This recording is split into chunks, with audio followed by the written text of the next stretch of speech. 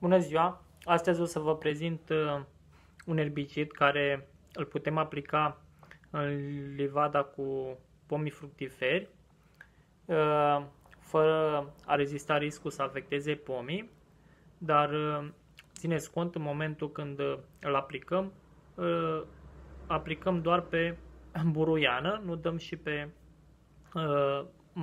frunzele pomilor. Dacă atingem tulpina, nu e o problemă, nu trebuie să dăm pe frunzele lor.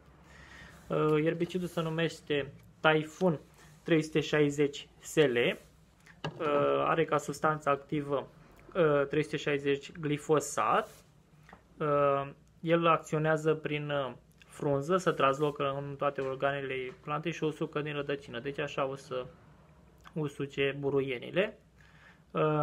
La pomii fructiferi nu trebuie să aplicăm mai mult de două erbicidări pe sezon.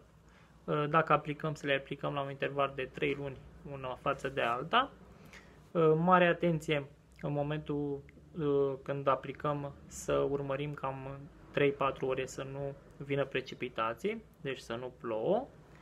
Și ceea ce trebuie să mai faceți dumneavoastră e că după ce o să erbicidați, să stropiți, să, pardon, să uh, spălați foarte bine uh, pompa sau utilajul care ați aplicat erbicidarea. Uh, ca doză, care vă recomand, o să vă spun mai pe înțelesul dumneavoastră, uh, folosiți un litru de erbicid undeva la 40 de litri de apă. Uh, există și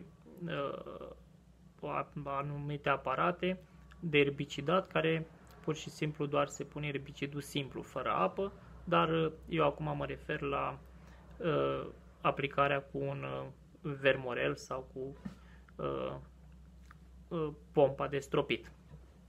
Uh, uh, ce aș mai vrea să vă spun e că el mai merge aplicat și la, pe rândurile la vița de vie, uh, dar vița de vie să fie mai mare de 4 ani, uh, la fel ca și la pom și așa mai scăpăm uh, de buruieni. Vă mulțumesc!